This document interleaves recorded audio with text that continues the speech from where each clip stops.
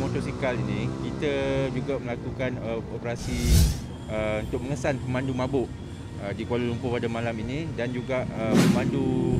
uh, penunggang motosikal uh, yang menunggang secara melulu dan berbahaya iaitu uh, lumba haram. Uh, kita akan teruskan operasi kita uh, dalam uh, fasa pemulihan kedua ini seperti mana yang kita semua tahu bahawa uh, kenderaan dah mula bertambah di pusat bandar dan kita pihak polis uh, trafik Kuala Lumpur sentiasa bersedia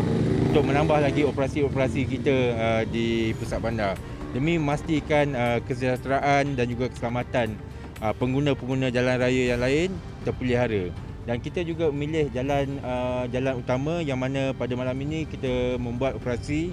di Jalan Tun Razak berdekatan dengan uh, Hospital uh, Institut Jantung Negara uh, untuk mengelakkan motosikal bunyi-bunyi bising motosikal ini daripada mengganggu uh, di kawasan sekitaran sini. Uh, saya nasihatkan kepada uh, penunggang motosikal dan juga pengguna jalan raya lain supaya mematuhi uh, undang-undang jalan raya kita uh, dan juga motosikal atau kenderaan yang digunakan